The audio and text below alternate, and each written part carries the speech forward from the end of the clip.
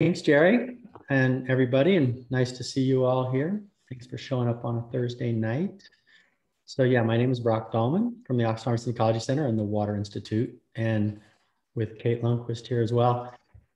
Uh, our plan tonight is that I'll, we're to split, we're splitting our talk into two halves. So I'll do the first half, and that's a bit more just on background, history, beaver biology, some of the context of beaver in California, kind of bigger picture.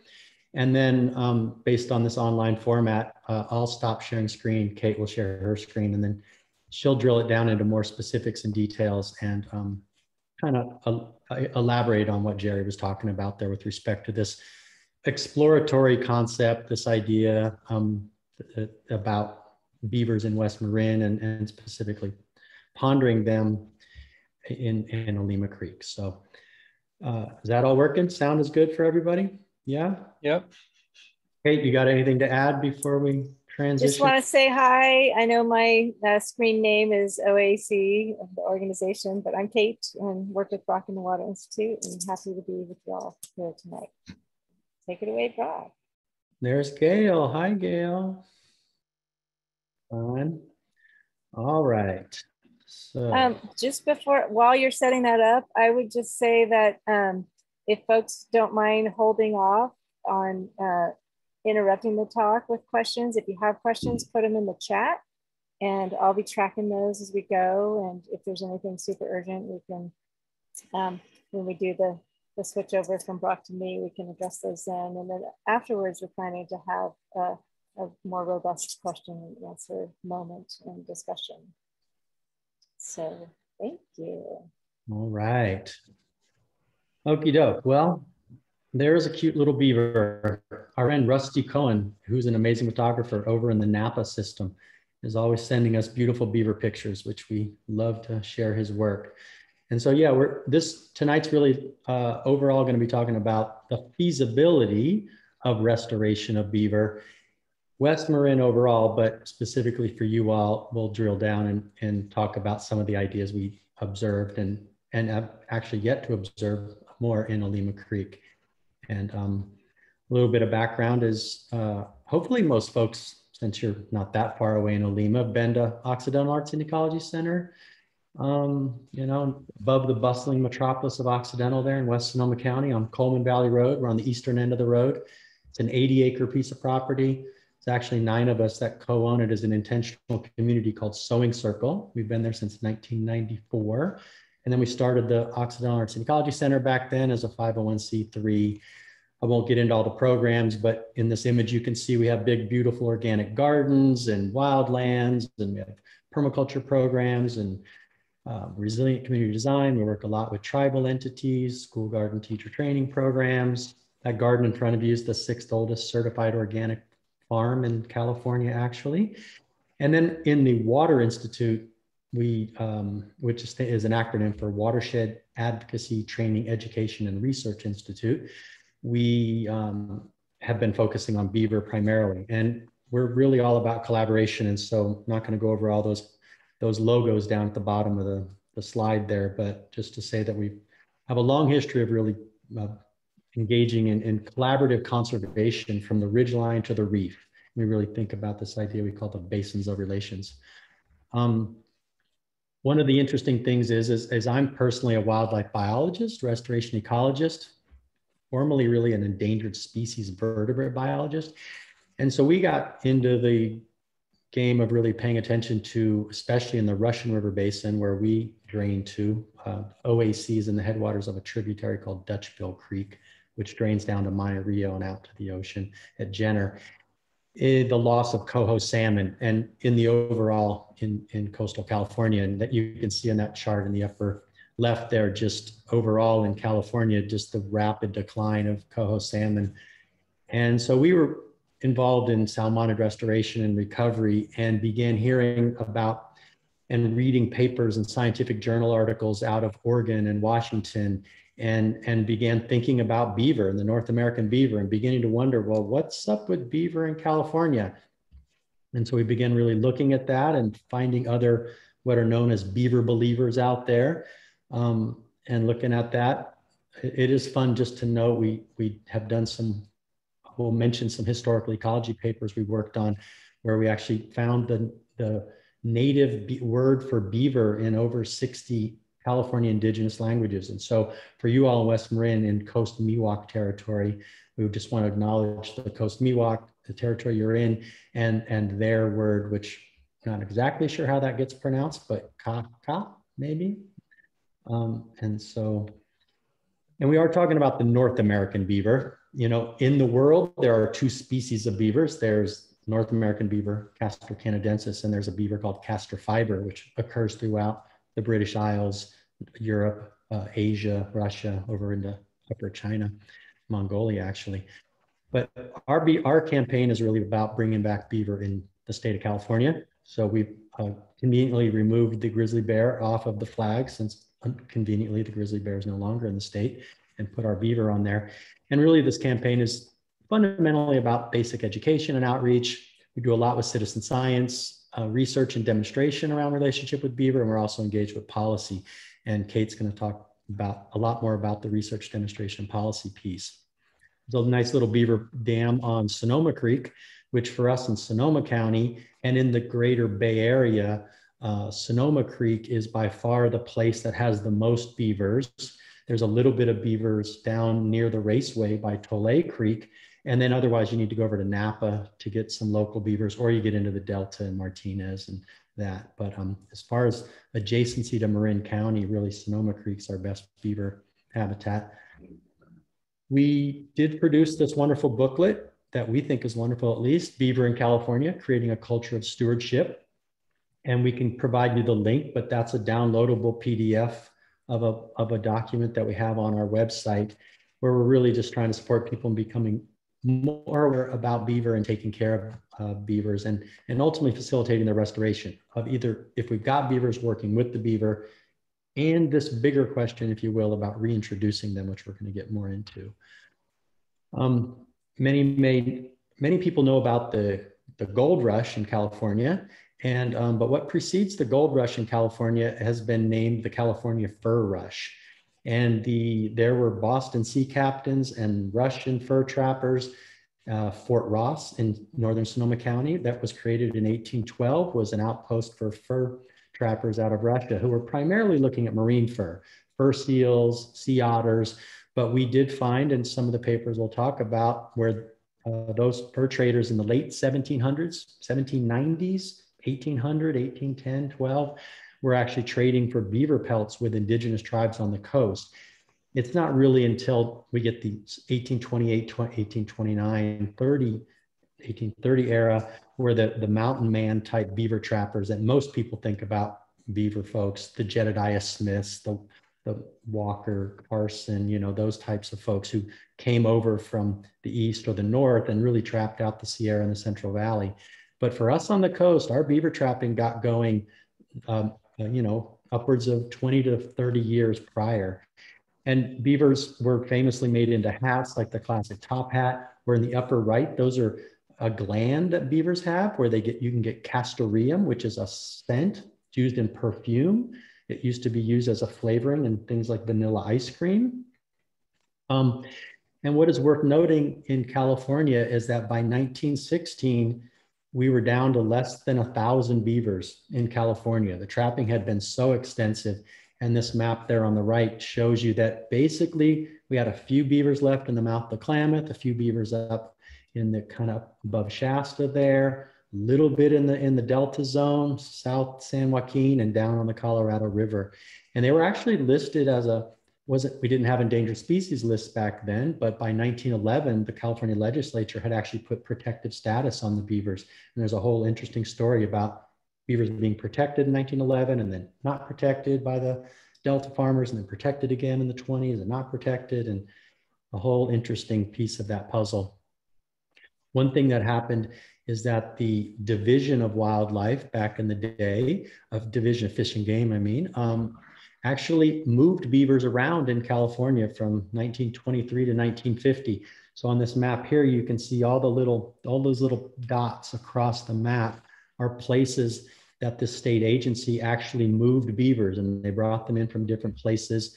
And it is worth noting and kind of interesting that the, um, this quote from 1942 that it was it is now understood that soil erosion and shortage of water in some places resulted from the destruction of beavers which formerly built and kept in repair the dams on upper reaches of many streams.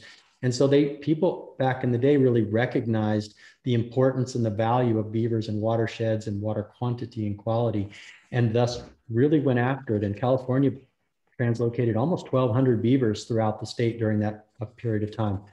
All the other western states um, who were doing that kind of work back then didn't move more than 100 or 200.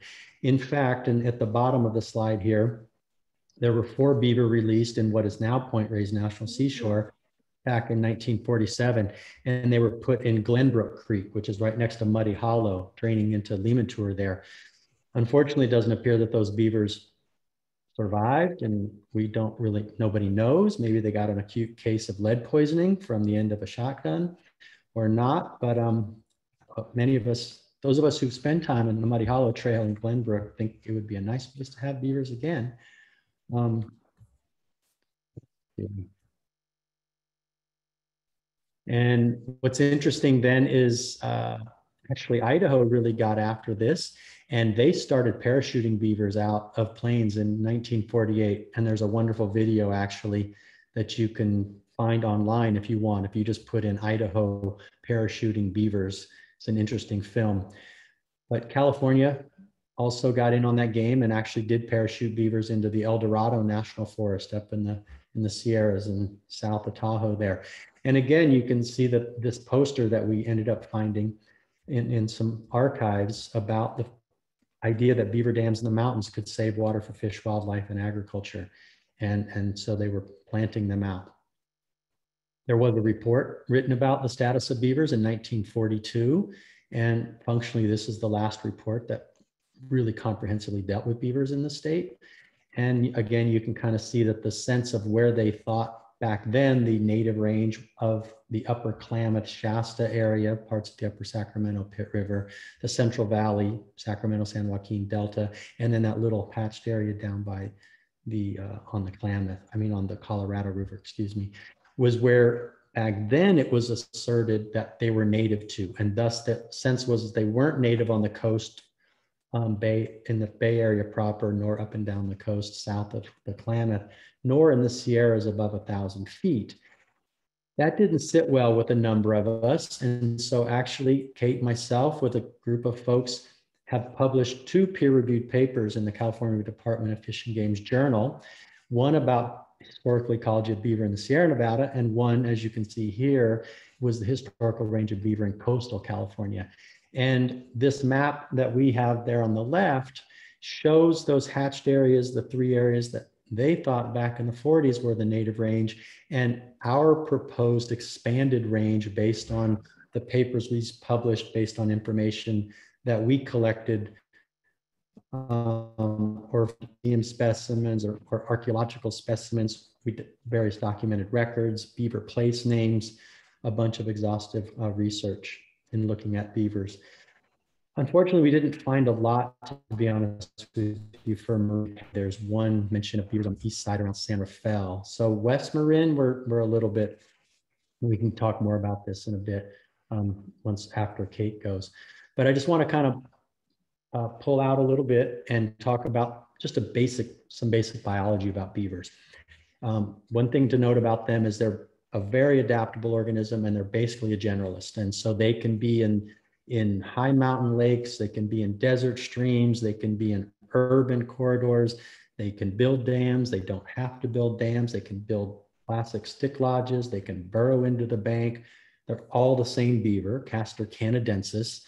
They're a large rodent. If you know about rodents, if you looked at the teeth on a mouse or a rat or a porcupine, they're a large rodent. They're actually the second largest rodent on the planet after the capybara of South America. And they famously have that big flat tail. They've got a really cool little uh, claw on their back foot that allows them to groom. You can see that they are mammals and therefore they have mammary glands and they're interesting in that beavers um, unlike many what we think about rodents um, that breed a lot, beavers tend to just breed once a year. They have small litters of, of little kits. They can have, you know, one to two to three, sometimes four. They tend to have a pair of adults. They might have that season's kits. They might have a yearling from last year and a juvenile from two years before that live as a family group. So they're they're they have a long-term investment. Um, we think they're pretty darn creative as well and such. And one of the things though is that they are an aquatic mammal. And again, they uh, they famously either build these lodges like you see that most people think about a floating stick not a floating but a stick lodge that's based on an island out in the middle of a lake that they can enter from under the water or that image on the left where in a river system which is mostly what we see around here especially in coastal californian beavers where they make a tunnel where they enter underneath the water and they burrow in and they make a den that might be in soil or underneath the root water in the roots of a tree and they because they're more river-based system beavers versus lake-based beavers. But they need that deep water, not only because that's how they are most efficient and for foraging and for cutting trees down and other vegetation, but they also need it for uh, protection from predators. And Jerry was talking about the mountain lion work and that picture in the back of there. And thank you for working on that. And now there's lots of mountain lions and the dominant predator of beaver, besides humans in California, are actually mountain lions. They're really adept at eating beavers. And that's a, a bit of a conundrum when we reintroduce beavers is how do we protect them in the beginning from mountain lion predation, actually. Interestingly, beavers are really understood to be what we would call in ecology a keystone species, where the habitat beavers create disproportionately creates more habitat for other species beyond just the beavers. The sage grouse people in, in the in the um, arid mountain west of, say, Nevada, really value beavers. Many species of trout, Lahontan cutthroat trout, we'll talk more about coho and steelhead, elk, moose in the high country or the high northern latitudes, pond turtles, various species of frogs like Cascades frogs in the Sierra Nevada, willow flycatcher in the lower right there is in the Sierra Nevada, clearly being shown to be codependent with beaver habitat. We've even found blackback woodpeckers benefiting from beavers when they make ponds that kill lodgepole pines that had been invading dry meadows become habit, nesting habitat for blackback woodpeckers, which are mostly a fire dependent woodpecker species. What's really interesting about beavers is, that, especially when they make dams, is that dam slows that flow, it spreads that water out. It's a form of flooding. And We'll talk more about flooding relative to Olema Creek, but when it's good flooding, good inundation, it creates significant habitat, diversity of habitat. It slows that water down. It can increase that recharge of water, increase the, the, the flow downstream, help cool water down in, in um, various systems, which is all good for salmonids. And the salmonid we've really been thinking a lot about again is coho salmon and steelhead trout for sure, but especially coho. And I think we really recognize that the Tomales Bay watershed, especially through Lagunitas, through Olema Creek, in part uh, Walker Creek to some degree, uh, further down on the around southern Marin there on the coast and Pine Gulch in the Russian River, that coho salmon are a, a fish that is well documented in areas where there are beavers further north than in Oregon, Washington to really benefit from the kinds of habitat that beaver create. And so we're really looking at are inspired by the idea of trying to bring back beaver in part as a coho recovery strategy beyond the fact that we just like beavers. Um, what's interesting to note, and, and, and other places in California, one of the benefits or environmental services that beaver provide is a water quality benefit. And this is a, a image of South Lake Tahoe and where Taylor Creek is. And that Taylor Creek system and the Forest Service land, this paper um, back from 2007, looking at the benefit of these beaver ponds and the wetlands that they create in the vegetation being a place where uh, phosphorus, for instance, was actually being sequestered by the vegetation instead of delivered to Lake Tahoe, which is phosphorus and nitrogen and sediment are things that we know have been uh, impacting the water quality of the famously blue Lake Tahoe. So we really think that beavers help keep Tahoe blue and could use more of them up there. But everywhere where we are, there are nutrient issues and sediment issues um, impacting water quality. And then there's some really interesting work around climate change and water and whether there's droughts and deluges and the image on the, the left of really showing how much water beaver can hold on the landscape and rehydrate it.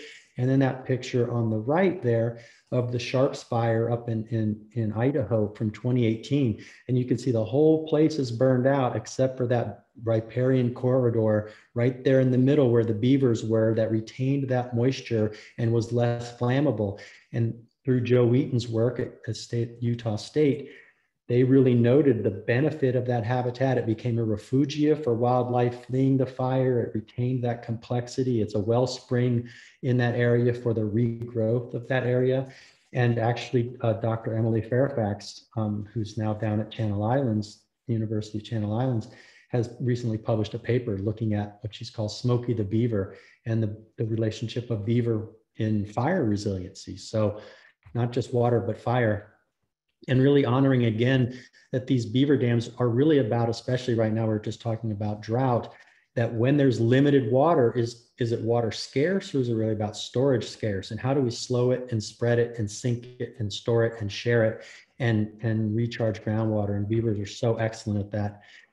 This is just a series of images from a, a woman named Carol Evans who works for the BLM in the Elko district. So we're over into Nevada, Elko County, Nevada, kind of halfway between the city of Elko and Reno, if people know that area, Winnemucca. Um, and you know, your high elevation desert, six inches of rain on average, snow in the winter, sagebrush sea. And so you can see the Susie Creek here in 1992.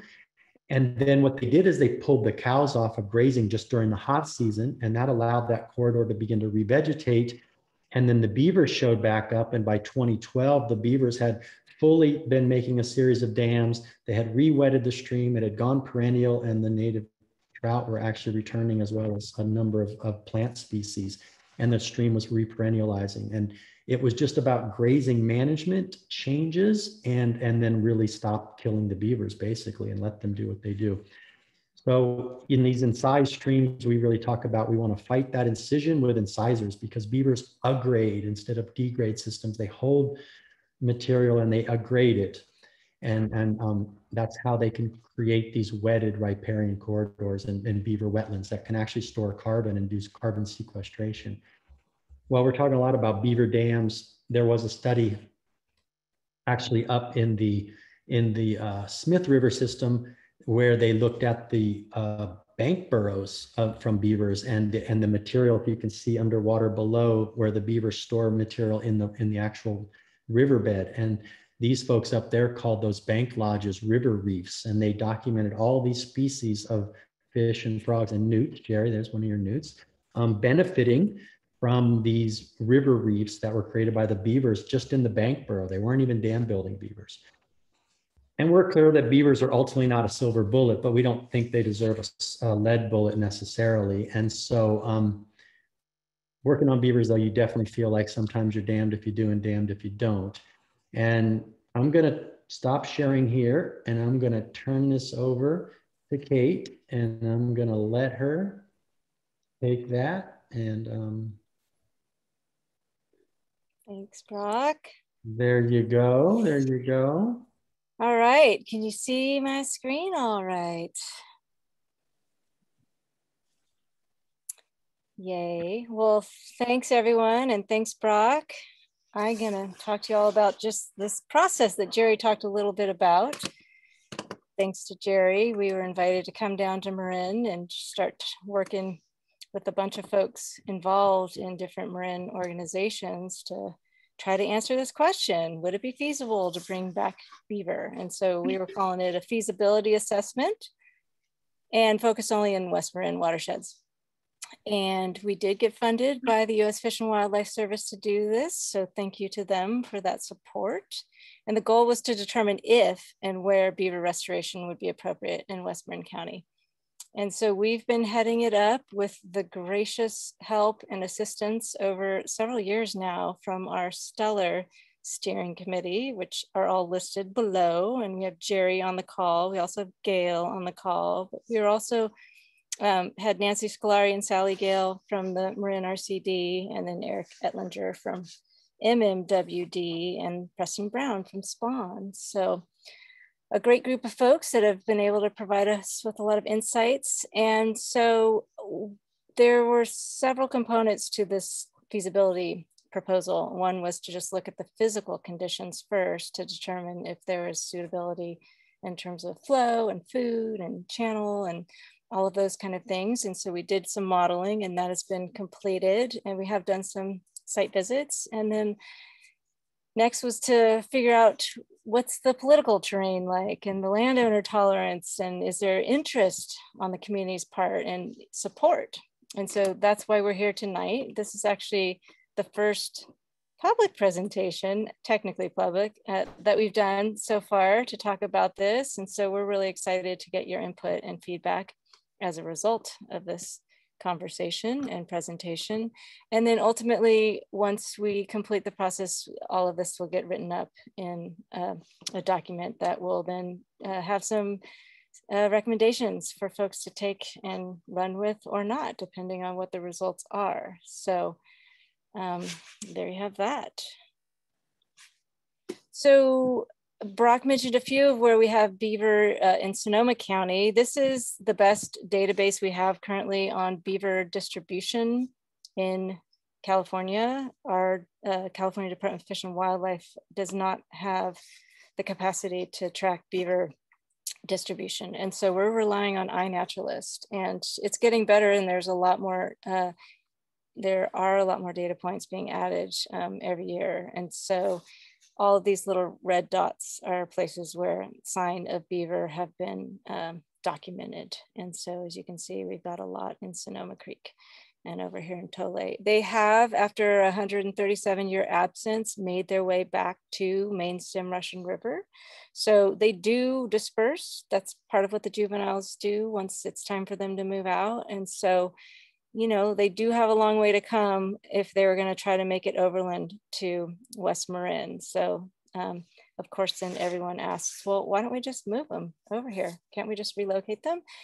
Every state in the West relocates beaver as a part of um, their non-lethal management and conservation efforts. California is still trying to work out that process, um, has not been interested in it, but we've been working with them a lot and there's a lot of conversation. I can talk more about that. This is um, my partner Kevin and I relocating beaver in Colorado and also in Washington state.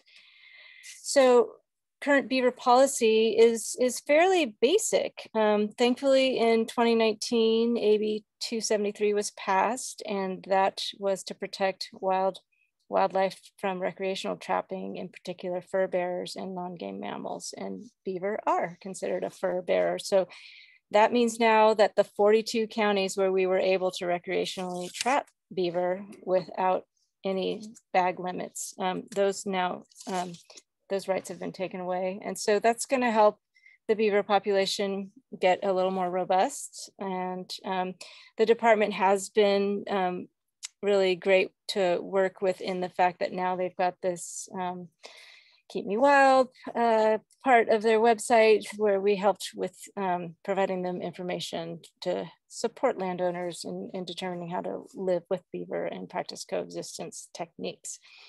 The main concern now though is depredation. Um, you know, there's a lot of people living in California and there's a lot of ag. And so there's a lot of potential for human beaver conflict. And so um, right now the department is required to give depredation permits to any owner or tenant that is suffering damage by beaver. And we are currently working on this right now. We, we submitted a rule change petition with the Fish and Game Commission to see if we could change the language to may and to really put in some language about um, giving the department more leeway to uh, to condition their permits to make sure that they that the landowners are exhausting all non-lethal techniques first and also really trying to account for any listed species that might be harmed by the depredation of beaver since a lot of listed species depend on beaver habitat as Brock already talked about.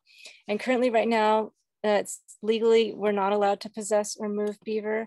However, we have uh, recently gotten permission to do a relocation uh, with a sovereign tribe.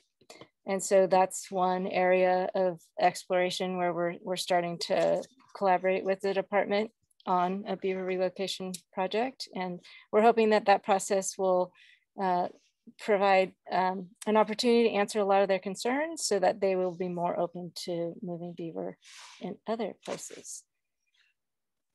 All right, I've lost my cursor. There we are. Um, so this whole process is called beaver restoration, and it's a it's a form of process-based restoration, which is a whole design methodology and science that's really well developed and has been super well articulated in these two documents that have come out recently. Sorry about that. Um, so if any of you are involved in any kind of in-stream restoration, this is a really great manual to look at and just um, get more schooled about ways to work with materials that's super low tech and low cost, but high yield and high effect. And beaver are a form of restoration. Working with beaver is a form of restoration as well, which is why we're interested in seeing if there's a role for them in Marin County, in West Marin. And you may have heard the term beaver dam analog. That's basically beaver mimicry. There's a lot of different types of in-stream structures that are used in this form of process-based restoration. And California has definitely started installing a lot of these structures all over the state with a lot of success, as you can see up here. And this is the Scott River where they have coho salmon that really have benefited from these uh, beaver dam analogs that they've put in. We've been working with a lot of folks to start putting them up in our headwaters to keep more water on the landscape. Um, and they're also, you know, a lot of folks up in the Klamath watershed are using these as well. And now you can see them being used uh, in the foothills. And they can be used both to mimic beaver and try to encourage beaver to go where you want them, especially if you have beaver already on your site. You can reinforce their dams or you can build dams amongst their dams and help them last longer during high flows. Or if you're in a place that doesn't have beaver, you can put them in with the hopes of mimicking beaver and encouraging, you know, setting up the habitat so that if you were to one day relocate or if beaver showed up on their own, they would have really good habitat. And so that's something for um, you all in West Marin to think about. That that's something you could start with right away um, and do it in concert with a process towards trying to uh, start a relocation pilot. So we, this is the model that we worked with a bunch of partners to create. This is a Utah State University product that they have done for many different states in the West, and it's called the Beaver Restoration Assessment Tool, or BRAT. And it is a GIS based model that takes a lot of different inputs, vegetation, slope, drainage area, base flow, stream power, two year flood, stream power, and combines it all to just give you some broad stroke sense of where you might uh, want to think about moving beaver to. Where would you get your most bang for your beaver buck? And this can work too for just in-stream structures as well. If you're not even putting beaver in, you can use this model. And so it's a very detailed model and I highly recommend you go to the website and check it out. There's, you can surf it and go zoom in to your favorite part and look at what the model says. Um, all of these things are a combination of considerations that then get distilled into one layer, which I'll show you right now. And so this is the conservation and restoration opportunity layer. And um, all models are flawed. So when you look at it, you have to, you know, know the area and also you know, make sure that you understand why things are the certain color they are. However, when we started looking around in West Marin at this model, you can see that um, for a variety of reasons, um, lack of vegetation in some places or high flows that might blow dams out. This, this model is really uh, trying to um, support people in choosing places where dams, there would be as many dams as possible, persisting as long as possible. Um, and so um, you can see here that in Olema Creek and certainly out on the seashore, there are lots of places that show up in the highest and high um, category, which some of them maybe just need a little bit of vegetation. Certainly every place in the county could have potential. Um, you just have to you know, start somewhere and narrow your search and then ultimately get out on the landscape and check it out. From this, we as a committee certainly talked about a lot of different places of, you know, where would it make sense to get out on the landscape and do site visits. Um, and try not to make ourselves sick over these models because they can be really complex and sometimes you do want to just take take an aspen and uh, yes see your doctor so we did conduct a few site visits uh, several actually and uh, you know, based on the relocation projects that we've worked with in other states, they have scorecards and different considerations that we also take into consideration when we do these site visits.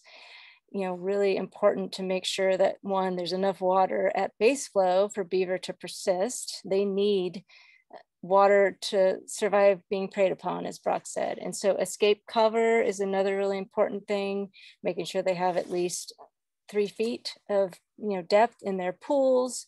And then food is really critical. So making sure there are the kind of species that they favor. They tend to prefer willows and cattails um, but they also need to chew trees because their teeth are constantly growing. And so they'll chew on anything just to you know keep their teeth sharp but they tend to stay confined to their channel and don't want to venture further than 100 feet outside of, of the water uh, to eat if they don't have to.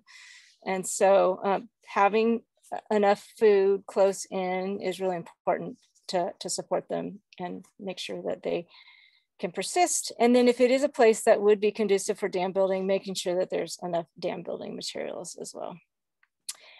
So the big question is, well, what it, what would the landowner acceptance of beaver be? And so this is what we're relying on you all and um, our committee to to help guide us. Is you know, what do people think? Are are people aware of beaver? Do people know what beaver can? You know, the benefits of beaver, but also what are the concerns? Are they aware of the concerns? You know, beaver definitely are they're they're willow farmers. They're they're wanting to expand aquatic habitat if they can so that they have more places to find food.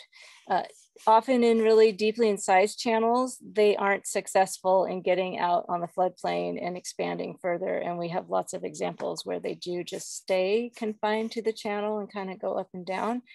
Ideally though, if you have a spot where you want to reconnect the stream to the, the, the floodplain and there's space and, and um, you know, landowner interest, Beaver could be really helpful in that way, and they could accelerate that process um, uh, greatly, as Brock showed in some of his slides. Definitely roads and infrastructure, you know, especially if they're in flood-prone areas, can be impacted by beaver. Beaver don't create floods uh, necessarily; they just um, they they basically impound water at base flow and you know if they have a dam it usually overtops during peak flows and dams blow out we don't tend to get the epic 12 foot tall dams that beaver create up in the in in Canada and in the in the northeast.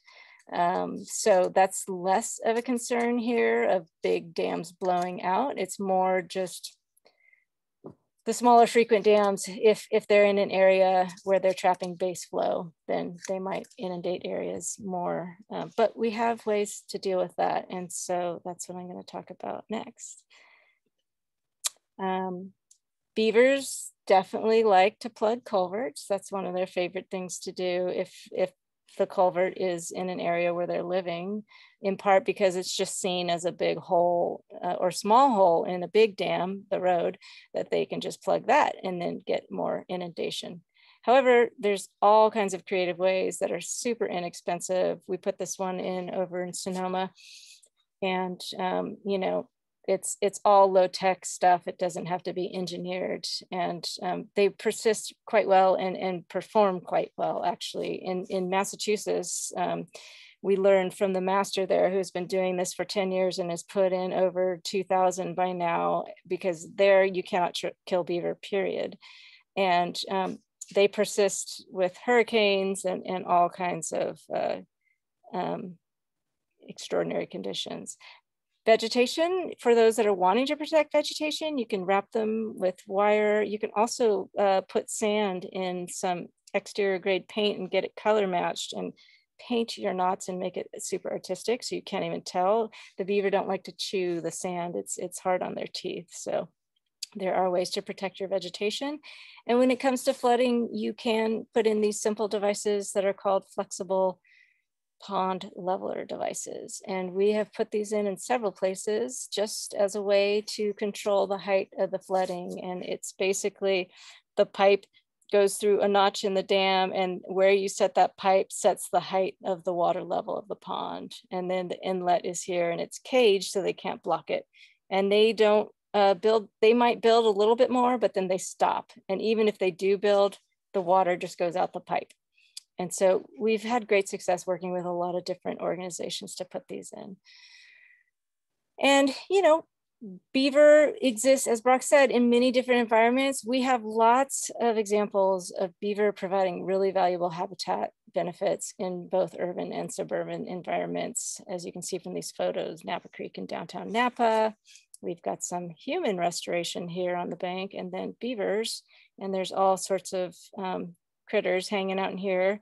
Similarly, uh, on Tolay Creek, this, this in its height was just an wildlife hotspot. We would have deer coming in here and all kinds of pond turtles and a bunch of other species showing up. And then for those of you who aren't familiar with the Martinez beaver, they are quite famous and they too have had all kinds of wildlife species show up here in downtown Martinez. And they are not, you know, the city was concerned, but they put in a pond leveler device and it's been fine. They have not suffered flooding, especially in systems where you have these lower flows and they're lower gradient and it's you're not getting massive amounts of CFS coming through.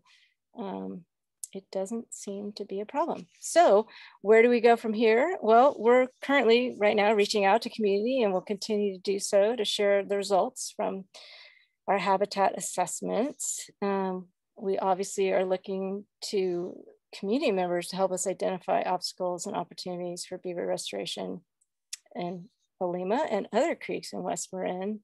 And then if, if the habitat and political um, conditions support it uh, and there's landowner interest, then uh, ultimately it'd be great to initiate some kind of restoration approval process. And again, it can be with or without beaver.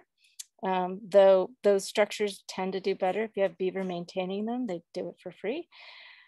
And then one of the things that we're aware of is that, you know, ultimately there needs to be some lead landowner, agency, NGO that would need to head up the project and um, secure the permissions and permits and funding. And I'm sure Jerry can talk more about this. Um, but our current understanding from CDFW about a potential Marin project is that uh, there would need to be a project lead and that they would need to get board of supervisor permission and farm bureau permission. And so, you know, when we looked at the map, um, certainly, you know, the amount of veg that is in Olema, the flow, the connection to the wetlands, you know, beavers can live in brackish water um, quite fine as they do in Martinez and elsewhere uh, on the West Coast.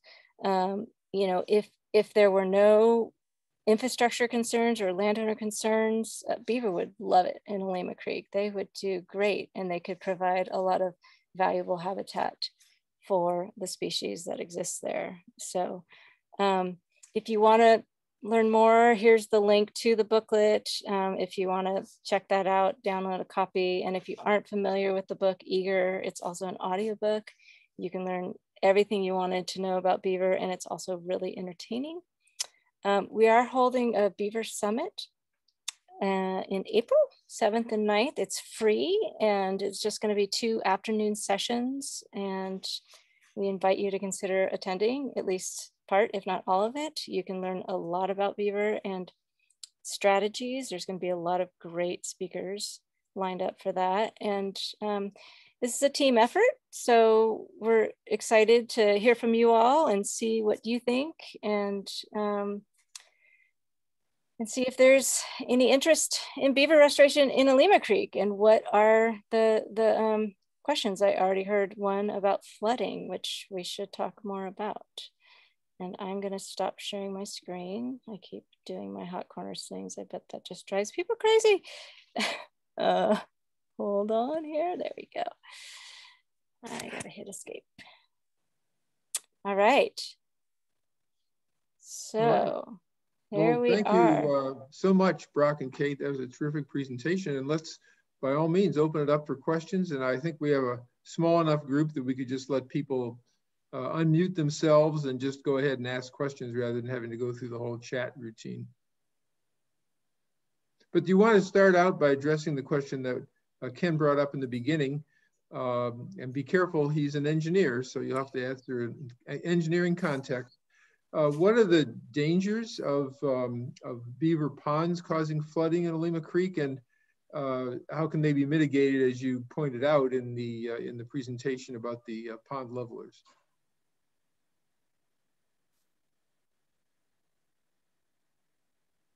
Well, I can take one crack at it, which is uh, I think, you know, the answer often is it depends. And so there are, as, as any good engineer knows, looking for a dam site, there are better places to put a dam, whether it's a human dam or a beaver dam that impound more water or not. So it, it we have not had the chance, in, in all honesty, to really walk a lot of Olema Creek and get a sense of that and get into some of the habitat down low. So, um, you know, in the absence of knowing that, as Kate showed, there certainly are ways that if beavers commenced to build le some level of dam that was um, resulting in some amount of inundation that people didn't like. There are ways to mitigate it through those flexible pond levels, as she showed. Um, so it's it's it's a it's a it depends kind of answer relative to where they would decide to show up. Uh, another question that I got. I'll, I'll say I think it's you know Go ahead, Ken. I'm sorry, I was just going to say, I, I think it's, yeah, I think it's less of an issue overall if it, you know, as long as it's not happening, you know, right, right in kind of Olema proper, which is, a, you know, relatively small area, you know, in, in the context of the, the whole watershed. So, and it could actually kind of help things. It could, you know, provide for some amount of mitigation by, you know, providing water storage um, and and recharge and not just letting you know the water come right down the, the stream channel. So I actually think there might be a benefit. And uh, thank you for an excellent presentation. It's very insightful and and um, definitely helps with us all becoming a little bit you know more aware of, of what a what a treasure the, the beavers you know could present. So thank you. I got a question for you all. What the water supply for Olema? What are those stream side gallery wells, stream side wells, or how how's so to your point about recharge, would beavers retaining water and spreading it out and that improve the water supply portfolio for Olema, or what's the what's that? Um, yeah, not not on Olema Creek. They it could help um, you know, on on Paper Mill Creek because the the wells for North Marin water um, are along that, and um, so there may be a benefit uh, on that actually. Um, so, um, and I'm I'm gonna I'm just gonna do a shout out to Dave Press. I, I hope that he might you know provide for some um, you know, direct knowledge of the park and, and how they look at this. To me, it seems like a really good idea. So. You better not go into. Yeah. Hey guys, it's it's Dave Press. Can you hear me? Okay. Yes. Yes. Okay. Great. Um, yeah. Also, yeah. Um, thank you guys, uh, Kate and Brock, for a really great presentation, and and honestly, thank you for for all the work that you've done. Um, it's uh, yeah. I, I, obviously, land managers throughout California have uh, learned a lot more about uh, the North American beaver in California um, based on your work. So um, the work that you've done is is really quite significant. So thank you for that, and thank you for for pursuing it. Um, been uh, tracking it for a while, and it's it's nice to meet you guys um, virtually. And I'm sorry I'm not on um, video, but I actually had to step outside into the dark because I got a family and everyone's busy, and you know.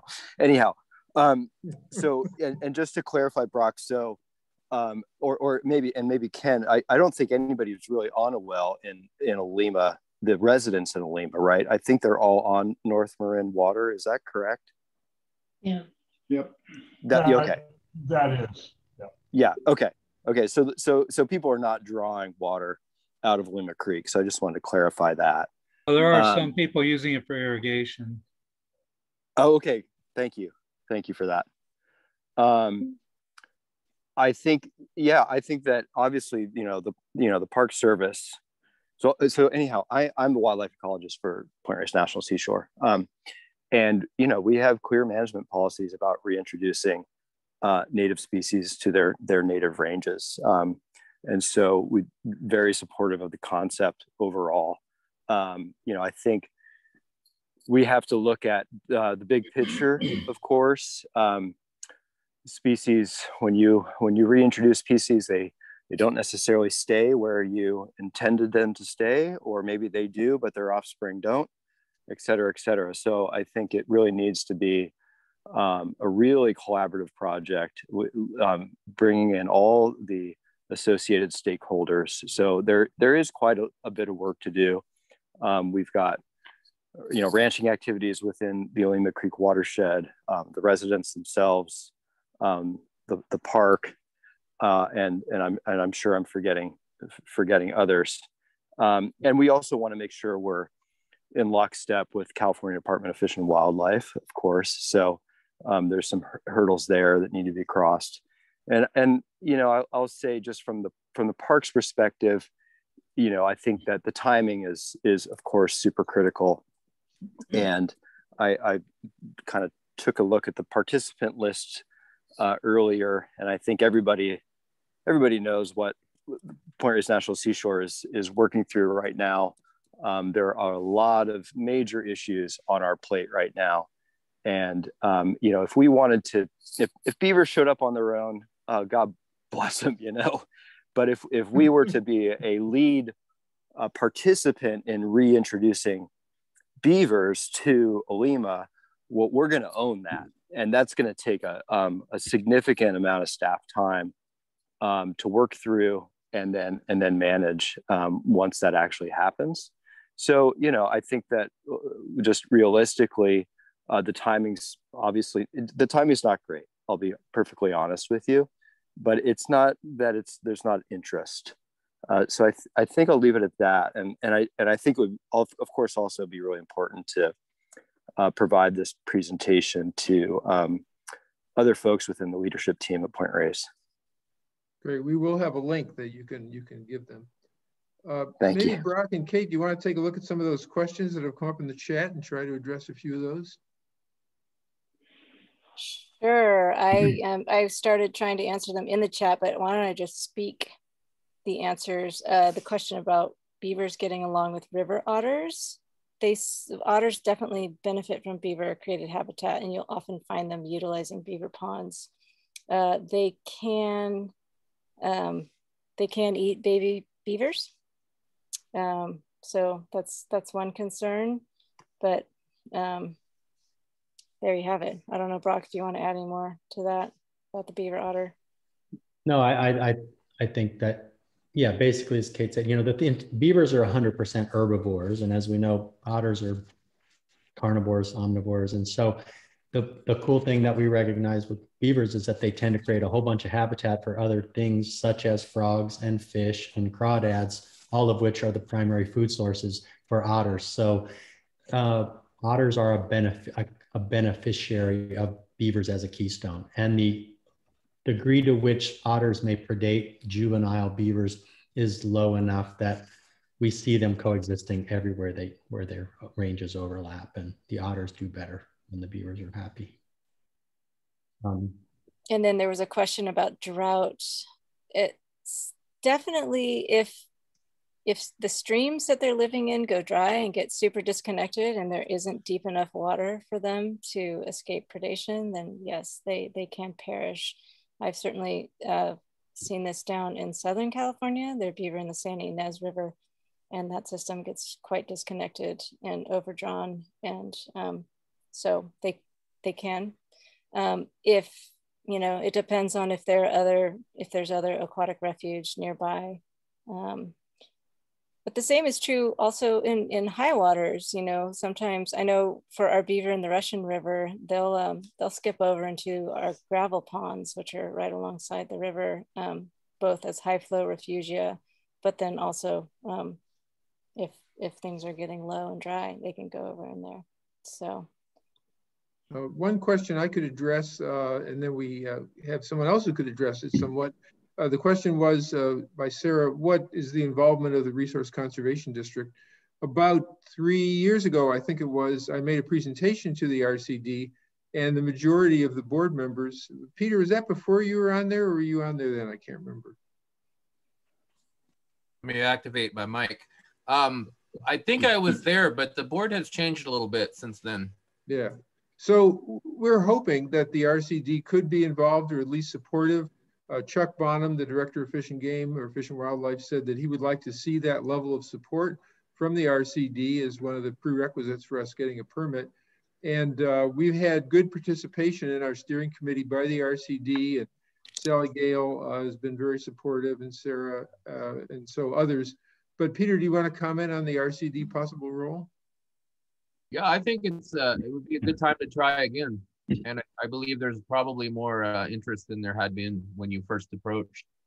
And I personally, I would be interested in, uh, you know, trying it again here in Pine Gulch Creek. Ah, great, great. Peter, by the way, for those of you who don't know, is a member of the Resource Conservation District and runs a wonderful farm on Pine Gulch and gave us a super good tour of the work that they've done there, the off-stream storage and so on. So that's really great to hear, Peter. Thank you. Yeah, hi. Yeah, I'm Frank Brodick, and I live in Olema, and uh, I'm from Pennsylvania, and I grew up with uh, beavers in the area. In fact, I was on a recent hunting trip back there and was able was uh, able to watch beavers for about a week. And uh, hmm. yeah, I totally agree that. They do restore habitat and expand uh, habitat for different, uh, you know, mammals, et cetera but I, and I, but I'm sure your management, but they also can denude. I think that that may be the wrong term, but they can out eat themselves out of, out of an area. I've seen them expand beyond the 100 foot range that you mentioned, uh, going into larger timber and stuff like that. So, uh, I'm, but I'm sure your management plan would address that. For first of all, you have to get them there. Uh, but uh, would you be open to giving the GPS codes to where you're considering? Uh, putting them first? Well, we haven't gotten to that level of detail. Oh, okay. yeah, we're we're not even close to that. We've just been, and in, and in Olema specifically, like I said, we've that's the least visited on the on the ground. We we we looked around the Vedanta area a little bit uh, from the map, and people there was a sense, and I think talking to the fish biologist folks like Eric Ettlinger and others who knew more about the stream condition, the, the perenniality of the stream, the amount of pools, the kind of vegetation. They felt like that might be a, a viable area. Um, it's close to the park, so maybe Dave would get his wish that they would just go to the park without him having to take the lead and then he could welcome them in. no. Um, certainly one thing about Olema that's interesting is, is down in that lower section of it, you know, as you get closer to Point Reyes and the and the bay there, where it becomes much more dominated in, in say cattails and things. Beaver love cattails, those big starchy roots and the shoots, and they can just spend their whole time living in a cattail marsh and getting fat. Um, you're you're entirely correct that they uh, we've seen them in in the Sierras and the Rockies on aspen and they love aspen more than anything and they will definitely go more than 100 feet away to go get them aspen it's like candy to them mm. topography adjusts that the steeper ground sometimes is harder flatter ground the kinds of vegetation things like willows especially that sprout, that coppice, you know, they stump sprout. The beavers, like you said, will manage them. They're rotational grazers. They mm-hmm. slow water, they irrigate the veg, they coppice the willows, and they, they work through a oftentimes what is many years to decades in a big rotational grazing cycle, almost like wildebeest on the Serengeti or something. And so you it depends, you know, the carrying capacity of sites is really variable. I think in Cal in our coastal area where the riparian tends to be very constricted close to the stream, and then we quickly get out and it's either conifer, redwood, or it goes into chaparral or say bunch grass in some of these coastal terraces the beavers are going to be hemmed in pretty tight to staying within that riparian willow dom, you know, maybe alder, but dom, willow dominated corridor. So it kind of really depends on the location. There's a question from Christina about groundwater recharge. You want to take that, Kate? Um, does the beaver's removal of vegetation actually allow more groundwater recharge? Again, I think it depends. Um, they're they're really like Brock says, they're they're farming aquatic species or, or you know those that they really like co-evolved with with those that coppice well. So willow and um, alder and cottonwood and, and things like that. And sure i would imagine that once they they do the initial cutting down of, of the bigger stems that that could change the hydrograph some but um, they're stump sprouting and growing back as well. And really what we've seen and brock you can speak more to that but what we've seen a lot with with the groundwater recharge is just the fact that they're keeping that water on the landscape longer into the dry season allows there to be more groundwater recharge, regardless of what's happening with, with the vegetation.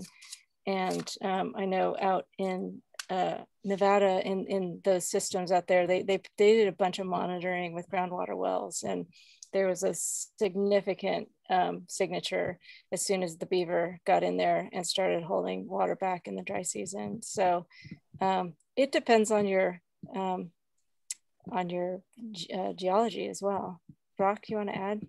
Yeah, I, I would. I, I think the vegetative signature is they're they're not necessarily removing vegetation they're changing the succession state they're taking they may be taking larger trees down that are then stump sprouting there may be an evapotranspiration relationship change in that. But I think what Kate was getting to is, you know, if you look at the history of the manifest destiny of the United States and the westward ho, the whole game was draining the landscape. So you got rid of the beaver and then you basically facilitated the incision, the down cutting of streams so that you could channelize them, ditch them, basically ditching. And anybody who's tried to dehydrate something, you just dig a ditch and lower the elevation of the ditch so that you can dehydrate the adjacent land and then you can farm it or build on it or do what you want. So uh, beavers are basically instead of uh, that incision, that's why we had that one little slide with their teeth, they're instead of degradation, uh, incision, beavers are about aggradation. So those dams are going to capture sediment and material coming down the system and begin to upgrade it and hold it and rebuild the elevation of the stream corridor where it probably was before contact, which then reconnects to those floodplains. And that aggradation and retention and laterally spreading of water is where all the science shows you get the increased groundwater recharge or retention, depending on the geology versus the incision, which is about dehydrating and desiccating systems and, and losing flow. So beaver are really just agents of processes that eh, people know this in, in the engineering community. You put in flashboard dams along creeks, concrete or earthen ones, to slow water down to saturate soils. It's their the physics aren't that darn complicated, actually.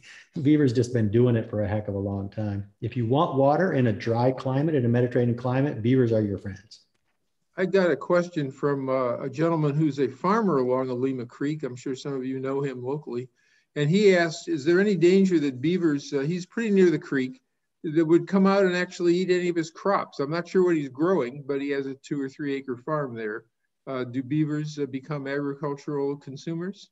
They do. They, um, in Sonoma Creek, they have taken out some lovely Merlot, Merlot vines. Um, so, you know, they're, they're opportunists. And if there's something interesting and tasty for them to go try out, yeah, they'll go eat corn. They'll go eat, you know, they, they, they tend to try a lot of different things. And so, um, if you're in a situation where your your crops are close to the creek, then you might have to do some, you know, fencing. And one thing that can be done is just even a single wire, hot wire to keep the beaver out. They're not big climbers necessarily, unless it's something like an aspen that they really want to get after. So it's it's not as hard to deter them as you might think. But yeah, that would definitely be something that would need to be addressed. So either an electrical fence or just a mechanical fence might keep them out. Mm-hmm. Yep.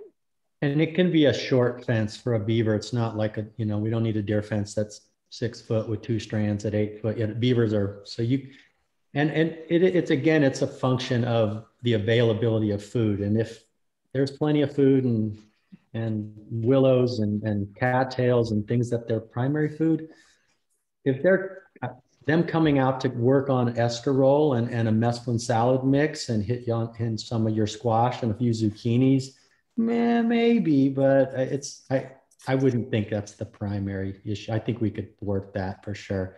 Um, and, and I don't know what their cannabinoid receptors are in beavers or not, if that's the crop we're talking about, but you know, maybe they're. I think fruit trees would be the key concern, some something you spend a lot of time growing to have that much yeah. down. So that's really what Kate said is if, if we're talking woody trees, any of the fruit trees or the grapevines, those are absolutely, that's beaver, you know, they love to eat that cambium, that, that thin bark layer.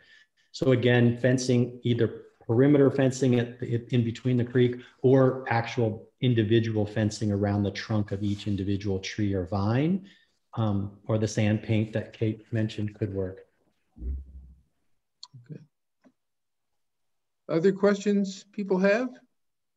I have a question about the uh, the major flooding we have occasionally in Olema Creek. It gets to be about 15 feet deep behind my house and floods out into the floodplain. Do uh, what are beavers going to do for a couple of weeks while it's in that stage? They just go sit up on the high water spot and, and gossip with each other and watch it all happen. And then they just follow the receding flow back down. So they'll just get out of that flood corridor and, and sit up on the bank.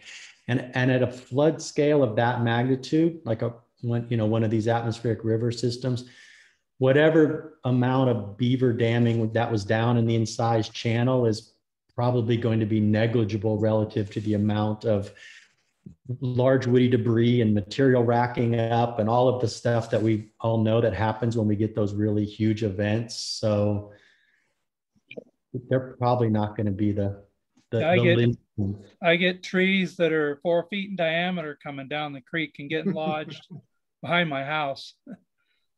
Exactly. So that's what we're saying. I think the, the, the magnitude and the capacity for those storms to move material that is so much bigger than what the beavers are doing I, I, I think they're not going to get, they're, they'll be negligible as a, as a driver when you've got that kind of flow event.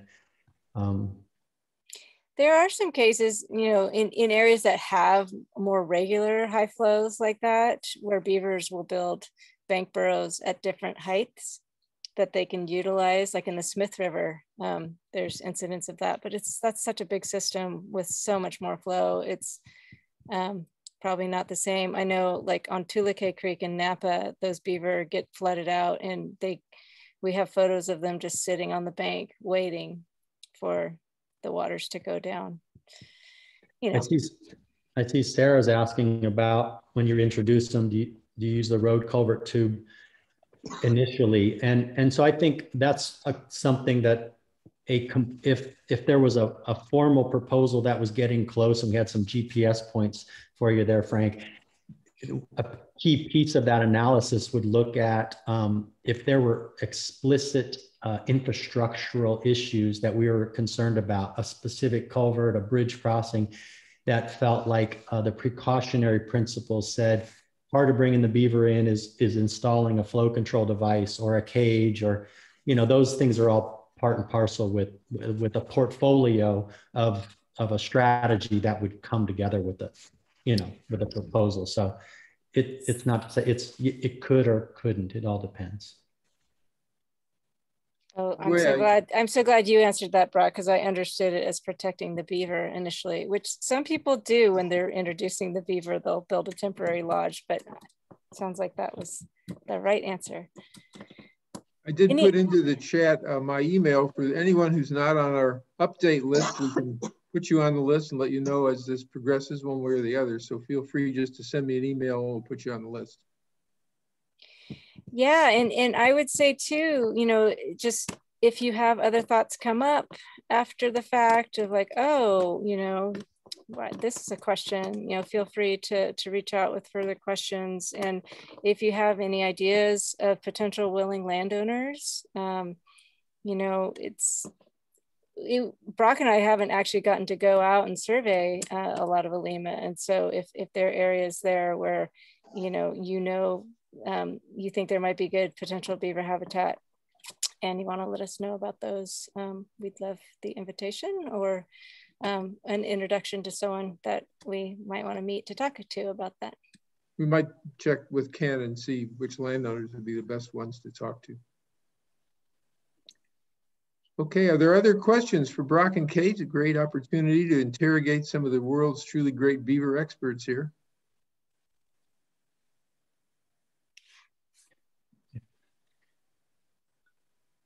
If you need a good Easter present, and we sell these organic cotton beaver flag hats, and we have beaver stickers. Just saying. Or if you like newts, you know, you might want to get your Chileno Ah. Valley Newt Brigade hat. They're really a great item for kids, especially. Got to save the newts too. How about a mask? Beaver That's mask. a, that's a great idea. Okay, well, I- I guess there may be no more questions, and I want to really thank everybody for participating, for asking some great questions. We will really keep you up to date on this, and Peter, we want to take you up on your offer to re-engage in uh, Pine Gulch as well. That'd be great, and I look forward to that. And thank you, everybody, for, for participating tonight, and especially Brock and Kate. Thank you so much. Thank you. Thank you all for you. coming. All right. Thank you. Thanks for Thank you, hosting. Jerry. Setting it up. Nice Yeah. to see you, Bonnie, Gail, Peter. Thank you. All Okay. right. Take care, everyone. long. Bye.